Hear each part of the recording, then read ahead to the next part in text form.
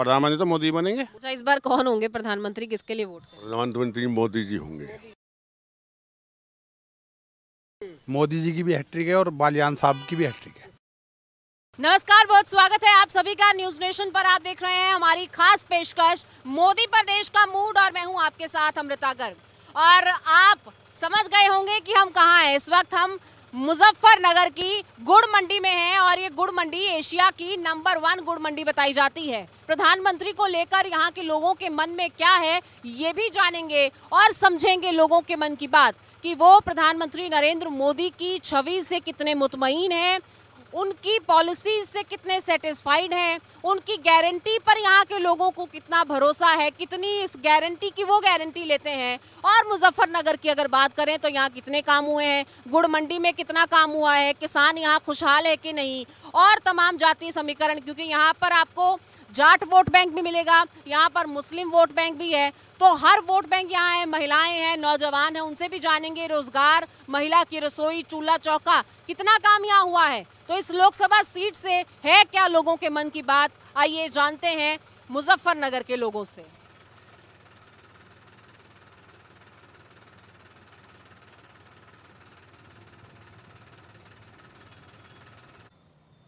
तो राजनीतिक पंचायत को समझने के लिए गुड़ मंडी से बेहतर जगह नहीं हो सकती। यहाँ पर आपको व्यापारी वर्ग, यहाँ पर आपको किसान, जाट और तमाम तरह के लोग आपको मिल जाएँगे। तो हर वर्ग क्या सोचता है मौजूदा सरकार के बारे में? प्रधानमंत्री की छवि कैसी है? क्योंकि अगर इस बार वोट होगा तो क्या बालियान साहब की हैट्रिक के लिए वोट होगा या फिर प्रधानमंत्री के चेहरे पर उनकी हैट्रिक के लिए वोट किया जाएगा? इन तमाम चीज़ों को समझेंगे आज मुजफ्फरनगर से।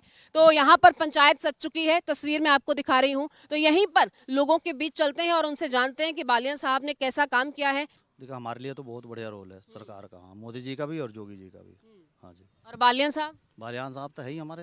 हाँ वो तो घर के हैं। तो घर के हैं। बिल्कुल। अच्छा तो घर की सरकार बनाओगे फिर से? हाँ फिर घर की सरकार बनाओगे हम उनसे खुश हैं। मोदी जी जोगी जी के नेतृत्व में वो काम कर रहे थे हम भी उनसे खुश हैं। अच्छा बाबा क्या लगता है ऊपर से लेके नीचे तक? काम सही हो रहा बढ़िया हो रहा? बढ़िया हो रहा जी। ठीक हो रहा जी। कोई कमी नहीं लगती कोई कमी ठीक है जी। बढ़िया। हर जगह सुधार है। जी। अच्छा कोई पीयर प्रेशर में नहीं है कि इन्होंने बोल दिया कि मोदी जी योगी जी?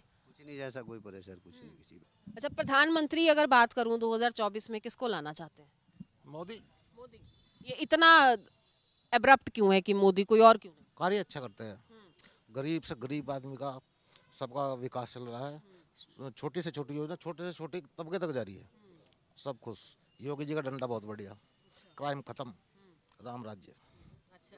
अच्छा एक मुजफ्फरनगर की और खास बात है कि अगर मुजफ्फरनगर की आप बात करें तो यहाँ के लोगों ने हर पार्टी को मौका दिया है।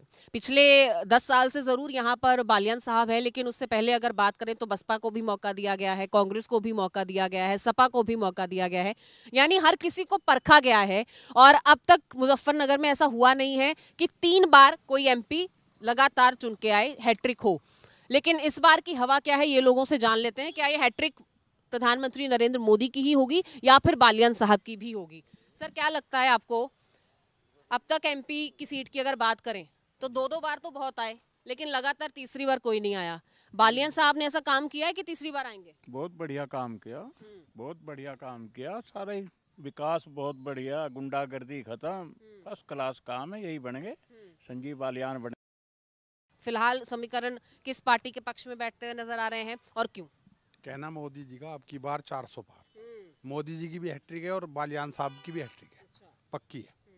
और जो ये गन्ना मंडी इस बार हम गुड़ मंडी में बैठे हैं तो यहाँ तो किसान मंडी में आते ही नहीं गुड़ बे- गन्ना बेचने। उसके लिए मोदी जी को ये करना होगा कि इसको जीएसटी के दायरे में लाना होगा गुड़ को। जब ही सब गन्ना व्यापारी यहीं आएगा। वो तो एक उत्पाद में गिनते हैं इसको योगी जी तो। योगी जी गिनते हैं मोदी जी भी तो गिने। मोदी जी तो नहीं गिनते ना इसको। इसको जीएसटी के दायरे में लाएँगे तो जो टैक्स की चोरी है वो सब समाप्त हो जाएगी। उससे गवर्नमेंट को भी फ़ायदा होगा राजस्व की भी बढ़ोतरी होगी। मुजफ्फरनगर में बहू बेटियाँ पहले सुरक्षित नहीं थी बालियान साहब से पहले? नहीं सुरक्षित तो थी पर इतना सुरक्षित कभी महसूस नहीं हुआ जितना हमें अब महसूस दे रहा। एक मोदी सरकार के आने से ये था कि जो बिरादरी का जो ताना बाना था इन लोगों ने वो कम किया। मतलब हमारे मन में जो था तो एक इन्होंने यो कम किया, दो चीज़ इन्होंने की और तीसरी बात, हमारी मंडी की समस्या ये है कि गुड़ पे जो हमारे वो टैक्स की चोरी बहुत ज़्यादा हो रही है यहाँ। उसकी वजह से सरकार को राजस्व का नुकसान है, हमारे व्यापार का नुकसान है। तो अगर ये लोग इसे भी, गुड़ को भी जीएसटी में ले आए तो जो बाहर से जो गुड़ की चोरी है, वो बंद हो जाएगी। मुजफ्फरनगर के कोई और मुद्दे कोई स्कूल, कॉलेज की समस्या है? कोई मेडिकल की व्यवस्था है? कोई और समस्या है? बस स्टैंड की है? रेलवे स्टेशन की है? नहीं जी और मुद्दे तो कुछ नहीं है पर मुजफ्फरनगर में व्यवस्था बहुत बढ़िया है स्कूल कॉलेज है जैसे हमारे जितने भी कॉलेज है पढ़ाई लिखाई बहुत अच्छी है सारी व्यवस्था ठीक है। तो इसके लिए सरकार को कितना श्रेय देते हैं? सरकार का ही है जी हंड्रेड परसेंट श्रेय तो बीजेपी का है।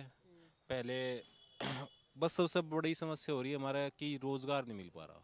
सबसे बड़ी समस्या हमें यह है कि अब यूपी पुलिस का पेपर हुआ था, उस पेपर में ये सारा पेपर आउट होगा, फिर भर्ती कैंसिल होगी, सबसे बड़ी समस्या यही आ रही है। ऐसा है, रोज़गार हमारे यहाँ थे, कुछ रोज़गार अब खत्म हो रहे थे, एनसीआर में आने का मुजफ्फरनगर ने हम लोगों ने बहुत कोशिश किया, बालियान जी ने भी किया, उसको एनसीआर में लेके भी आए, लेकिन हम लोगों को फ़ायदा नहीं हुआ, हमारी जो इंडस्ट्री है, बल्कि उसको और नुकसान हुआ पोल्यूशन को लेके तो अब मंत्री जी ने दोबारा उस पर प्रयास कर रहे हैं और ये सर्वे हो रहा है कि इसको हमारे इंडस्ट्रियल एरिया को और मुजफ्फरनगर को एनसीआर से बाहर निकाल दिया जाए ताकि यहाँ पे रोज़गार दोबारा कायम हो और फिर से दोबारा पटड़ी पे हमारा व्यापार और इंडस्ट्री चल जाए।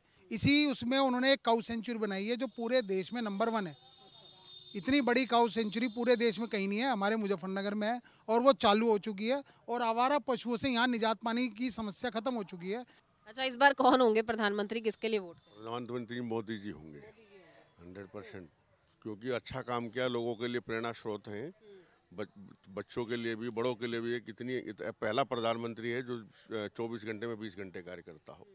ये हम जैसों के लिए सबके लिए एक प्रेरणा का स्रोत है।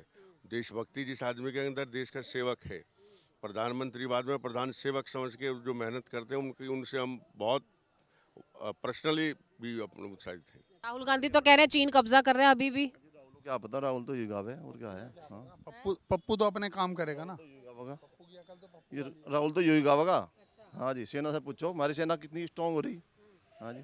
सड़क कितनी अच्छी कर दी है बहुत अच्छे कर रखे है चलने फिरने में बहुत आसानी है। देश में घूम रहे हो सड़क कैसी हो रही जी? हाँ जी मायावती के राज में दिल्ली अगर जाते यहाँ शामली से दिल्ली जाते तो पानीपत घूम के जाते या मुजफ्फरनगर गाँव में थे जब दिल्ली जाया जाता। हाँ जी इतनी बुरी सड़कें थी आज दस साल में हुआ है। हाँ और कब हुआ जी दस साल में या जी। अभी हुआ है काम। पहले तो कभी नहीं हुआ पहले सड़क ही नहीं दिखाई देती थी गड्ढे गड्ढे दिखाई देते थे।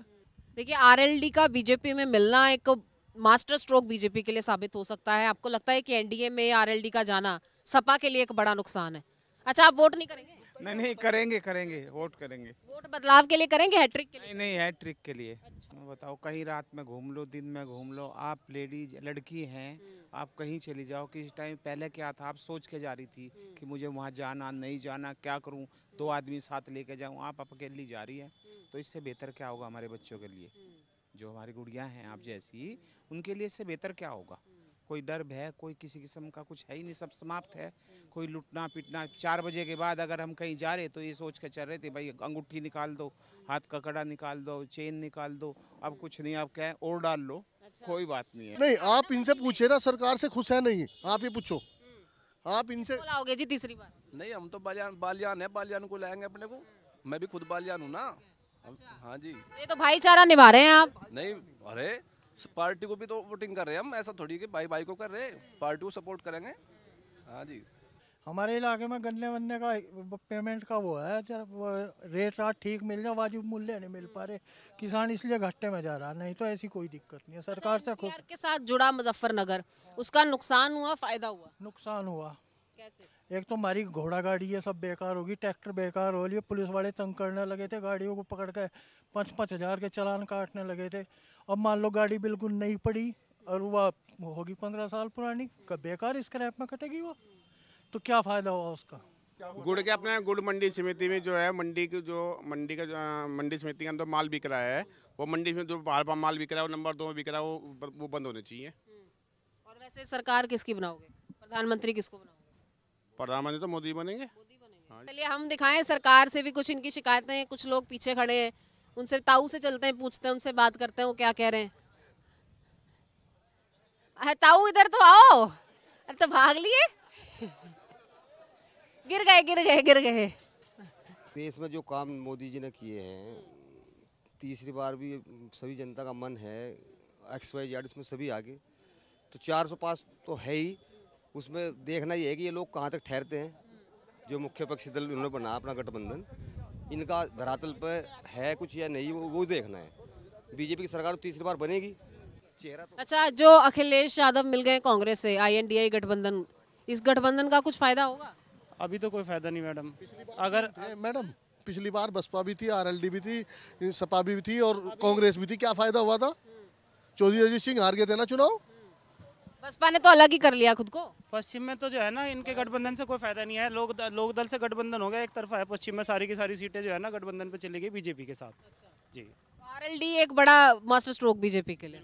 हाँ बिल्कुल मास्टर स्ट्रोक है। पर मैडम हम फिर भी एक बात कहेंगे कि जब हम मोदी जी को 400 बार पहुँचा रहे ना हमारे गन्ने के भाव को भी 400 बार पहुंचवा दो आप। हाँ। ये ये ये तो होगा। ये तो होगा। होगा कि मांग हो जाएगा हो जाएगा हो जाएगा। होना चाहिए होना चाहिए। हाँ। अब की बार दोनों ही? चार सौ पार। गन्ने का दाम और सरकार। दोनों चार सौ पार। का दाम भी 400 पार और सरकार भी 400 तो मोदी पर देश का मूड क्या है? आज ये टटोलने के लिए यूपी की 80 लोकसभा सीटों में से एक, मुजफ्फरनगर हम आए थे और यहाँ पर बात हमने लोगों से की, व्यापारी वर्ग से की, किसानों से की, नौजवानों से की और जानने की कोशिश की कि मुजफ्फरनगर के कौन से मुद्दे हैं जो अभी तक हल नहीं हुए हैं और उनको लेकर उनके नेता से उनकी क्या उम्मीदें हैं? पश्चिमी यूपी का ये वो इलाका है जहाँ से किसान भी धरने पर हैं, आंदोलन पर हैं। तो वो भी एक असर हमें देखने को मिला। फ़िलहाल यहाँ के लोगों की मन की बात जानने के लिए पहुँचे थे, आप तक पहुंचाई है और मोदी पर देश का मूड के ज़रिए देश के अलग अलग हिस्सों में जा रहे हैं अलग अलग राज्यों के अलग अलग सीटों पे पहुंचकर लोगों का मन टटोल रहे हैं और आप तक पहुँचा रहे हैं लोगों के मन की बात। तो आप देखते रहिए हमारी ये खास पेशकश और मुझे अमृता को दीजिए इजाज़त। नमस्कार।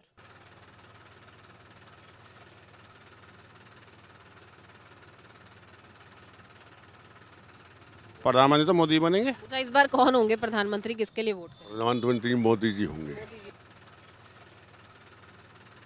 मोदी जी की भी हैट्रिक है और बालियान साहब की भी हैट्रिक